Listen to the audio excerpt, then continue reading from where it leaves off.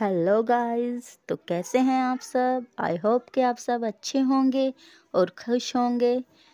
Hello guys I am Garima and welcome to my YouTube channel DG study art तो चलिए class को start करते हैं, लेकिन क्लास स्टार्ट करने से पहले मेरी आप सभी से एक हम्बल रिक्वेस्ट है। अगर आपने अभी तक मेरे चैनल को सब्सक्राइब नहीं करा है तो प्लीज़ कर लीजिए। गाइस अगर आप भी TGT PGT D triple S B या आर्ट से रिलेटेड किसी भी कॉम्पिटेटिव एग्ज़ाम की प्रिपरेशन कर रहे हैं तो प्लीज़ हमारे चैनल पर विज़िट कीजिए। इस चैनल पर आपको इंडियन और वेस्टर्न आर्ट का फुल कोर्स फ्री में प्रोवाइड कराया जाएगा और यूथ कंपटीशन का फुल प्रैक्टिस सेट भी सॉल्व कराया जाएगा। इस चैनल पर आपको बिल्कुल ऑथेंटिक कंटेंट प्रोवाइड कराया जाएगा। गाइस, इस चैनल पर आज से घटना चक्र की सीरीज़ शुरू की जा रही है तो आप लोग ज़्यादा से ज़्यादा इस कंटेंट को देखिए और समझिए, क्योंकि इसमें से ज़्यादातर क्वेश्चन आने के चांसेस रहते हैं। इस बुक से आपको पेपर में सिक्सटी से सेवेंटी क्वेश्चन देखने को मिल जाते हैं। तो चलिए गाइस क्लास को स्टार्ट करते हैं। आज का हमारा टॉपिक है घटना चक्र की क्वेश्चन आंसर सीरीज़ तो गाइस सबसे पहले हम देखेंगे क्वेश्चन नंबर वन को। प्रागैतिहासिक कला का अर्थ है फ़र्स्ट आधुनिक कला सेकंड मध्यकालीन कला थर्ड सिंधु घाटी सभ्यता की कला फोर्थ ऐतिहासिक काल के पूर्व की कला। फ़र्स्ट क्वेश्चन का हमारा आंसर होगा ऑप्शन नंबर डी, ऐतिहासिक काल के पूर्व की कला। क्वेश्चन नंबर सेकंड, प्रागैतिहासिक चित्रों के संदर्भ में निम्नलिखित में से कौन सा कथन असत्य है? ए, प्रागैतिहासिक चित्रों का मुख्य विषय शिकार रहा। बी, प्रागैतिहासिक चित्र गुफावासियों द्वारा बिना किसी कला दक्षता के बनाए गए हैं। सी प्रागैतिहासिक चित्रों में दमकता, लाल, चमकीला, नीला एवं प्रफुल्ल हरा रंग भरा गया है। डी. मानव व पशु आकृतियों को बनाने से पहले गुफा की भित्तियों पर पृष्ठभूमि में कहीं कोई रंग की तह नहीं लगाई गई है। इसका ऑप्शन नंबर ए, बी और डी तीनों सही हैं। तो इसका हमारा ऑप्शन नंबर सी गलत हो जाएगा।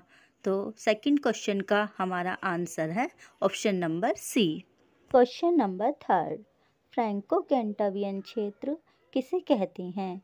ए यूरोपीय प्रागैतिहासिक चित्रों का प्रमुख केंद्र। बी फ्रांस की प्रारंभिक कला का प्रमुख केंद्र। सी फ्रांस का मिदी क्षेत्र। डी भूमध्य सागरीय कला का केंद्र। इसका आंसर होगा option number A Franco Cantabrian क्षेत्र यूरोपीय प्रागैतिहासिक चित्रों का प्रमुख केंद्र है। इसके अंतर्गत उत्तरी स्पेन और दक्षिणी फ्रांस क्षेत्र आते हैं। Question number four Franco Cantabrian क्षेत्र संबंधित है। ऑप्शन ए, धार्मिक कर्मकांड से। ऑप्शन नंबर बी, प्रागैतिहासिक कला से। ऑप्शन नंबर सी, आदिम गीत से। ऑप्शन नंबर डी, मध्यकालीन कला से। क्वेश्चन नंबर फोर का आंसर है ऑप्शन नंबर बी, प्रागैतिहासिक कला से। फ्रैंको कैंटाबियन क्षेत्र, यूरोपीय प्रागैतिहासिक क्षेत्र हैं। क्वेश्चन नंबर फाइव, भारत में प्रागैतिहासिक चित्र कहाँ प्राप्त हुए हैं? Option number A, Muzaffarpur. Option number B, Bindki.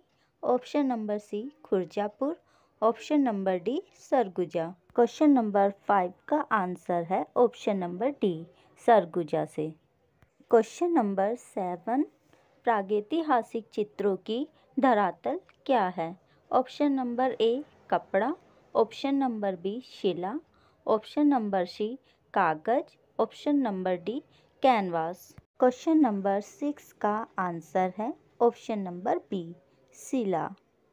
Question number seven, प्रागैतिहासिक भारतीय चित्रकला किस सतह पर बनाई गई है। ऑप्शन नंबर ए, लकड़ी के पटों पर। ऑप्शन नंबर बी, वृक्ष की छालों पर। ऑप्शन नंबर सी, ताड़पत्रों पर। ऑप्शन नंबर डी, चट्टानों पर। क्वेश्चन नंबर सेवन का आंसर है। ऑप्शन नंबर डी, चट्टानों पर। क्वेश्चन नंबर एट प्रागैतिहासिक चित्र क्या है? ऑप्शन नंबर ए, ग्रंथ चित्र। ऑप्शन नंबर बी, गुहा चित्र। ऑप्शन नंबर सी, कागज़ पर बने चित्र। ऑप्शन नंबर डी, वस्त्र पर बने चित्र। क्वेश्चन नंबर एट का आंसर है। ऑप्शन नंबर बी, गुहा चित्र। क्वेश्चन नंबर नाइन, प्रागैतिहासिक शिला चित्रों का विषय क्या था? ऑप्शन नंबर ए, आखेट। ऑप्शन नंबर बी, पशु पक्षी। ऑप्शन नंबर सी, युद्ध। ऑप्शन नंबर डी, उपयुक्त सभी। क्वेश्चन नंबर दस, प्रागैतिहासिक चित्रों के विषय क्या हैं? ऑप्शन नंबर ए, पशु। ऑप्शन नंबर बी, मानव। ऑप्शन नंबर सी, पक्षी। ऑप्शन नंबर डी, पशु, मानव, पक्षी, तीनों। क्वेश्चन नंबर टेन का आंसर है। ऑप्शन नंबर डी, पशु, मानव, पक्षी, तीनों। क्वेश्चन नंबर ग्यारह, प्रागैतिहासिक चित्र क्या हैं? ऑप्शन नंबर ए, ग्रंथ चित्र। ऑप्शन नंबर बी, गुहा चित्र। ऑप्शन नंबर सी, कागज़ पर बने चित्र। ऑप्शन नंबर डी, वस्त्र पर बने चित्र। क्वेश्चन नंबर ग्यारह का आंसर है। ऑप्शन नंबर बी, गुहा चित्र। क्वेश्चन नंबर बारह, प्रागैतिहासिक काल के चित्रों में सबसे अधिक चित्र किस प्रकार के मिले हैं? ऑप्शन नंबर ए पशुओं के चित्र। ऑप्शन नंबर बी, आखेट के चित्र। ऑप्शन नंबर सी, मनुष्यों के चित्र। ऑप्शन नंबर डी, औजारों के चित्र। क्वेश्चन नंबर बारह का आंसर है। ऑप्शन नंबर बी, आखेट के चित्र। क्वेश्चन नंबर तेरह प्रागैतिहासिक चित्र प्रधानतया किस विषय से संबंधित हैं? ऑप्शन नंबर ए, धर्म संबंधी। ऑप्शन नंबर बी आखेट संबंधी। ऑप्शन नंबर सी, युद्ध संबंधी। ऑप्शन नंबर डी, प्रकृति संबंधी। क्वेश्चन नंबर तेरह का आंसर है। ऑप्शन नंबर बी आखेट से। क्वेश्चन नंबर चौदह, प्रागैतिहासिक चित्र सामान्यतः निर्मित किए गए हैं। ऑप्शन नंबर ए, तेल पेस्टल से, ऑप्शन नंबर बी, जल रंग से, ऑप्शन नंबर सी, स्याही से, ऑप्शन नंबर डी, गेरू व चारकोल से। क्वेश्चन नंबर चौदह का आंसर है ऑप्शन नंबर डी, गेरू व चारकोल से। क्वेश्चन नंबर पंद्रह, प्रागैतिहासिक चित्रकार रंगों में क्या मिलाते थे? ऑप्शन नंबर ए, गोंद, ऑप्शन नंबर बी जानवरों की चर्बी ऑप्शन नंबर सी गोमूत्र ऑप्शन नंबर डी तेल।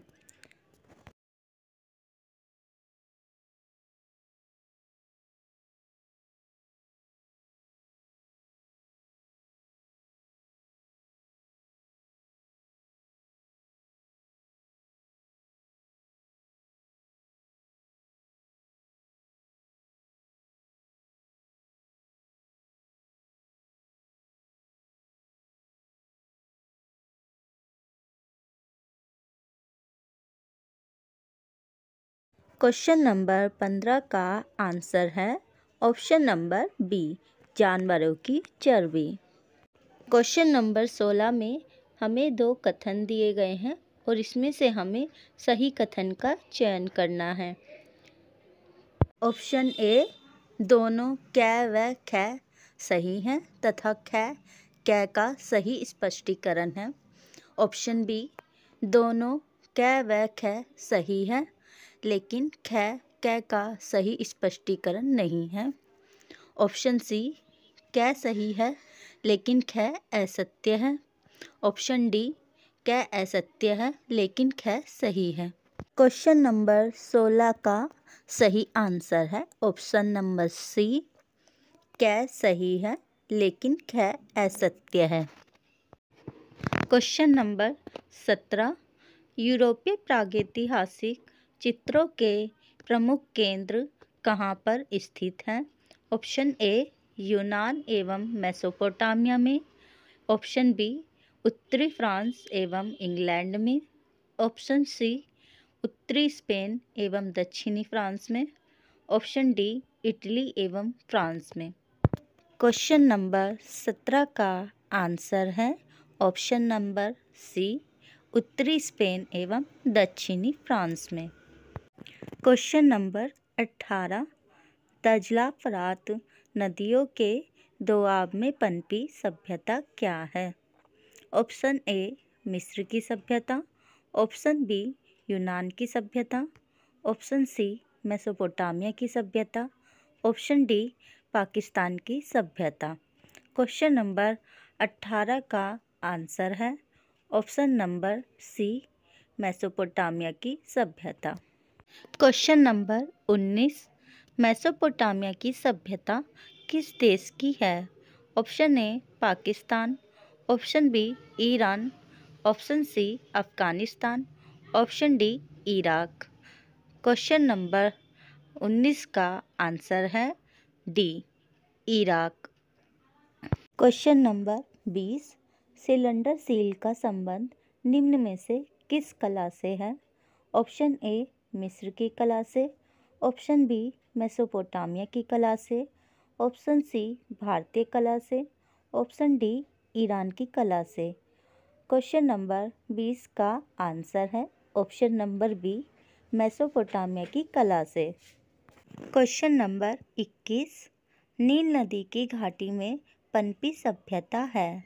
ऑप्शन ए, सिंधु सभ्यता, ऑप्शन बी, चीनी सभ्यता ऑप्शन सी, मिस्र की सभ्यता। ऑप्शन डी, मेसोपोटामिया की सभ्यता। क्वेश्चन नंबर बीस का आंसर है। ऑप्शन नंबर सी, मिस्र की सभ्यता।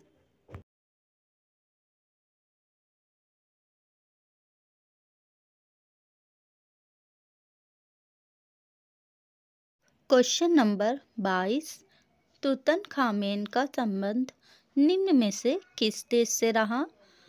A, Mesopotamia, B, Baghdad, C, Italy, D, मिस्र। क्वेश्चन नंबर बाईस का आंसर है। ऑप्शन नंबर डी, मिस्र। तूतन खामेन का अर्थ होता है अमूमन की छवि वाला। क्वेश्चन नंबर तेईस, महारानी नेफेरतिति का संबंध निम्न में से किस काल से है? Option A old kingdom, option B middle kingdom, option C new kingdom, option D modern kingdom. Question number तेईस का आंसर है, option number C new kingdom. Question number चौबीस, सुमेरियन सभ्यता किस नदी के तट पर विकसित हुई? ऑप्शन नंबर ए नील नदी, ऑप्शन नंबर बी यांगस्ते नदी ऑप्शन नंबर सी, सिंधु नदी, ऑप्शन नंबर डी, यूफ्रेटस नदी।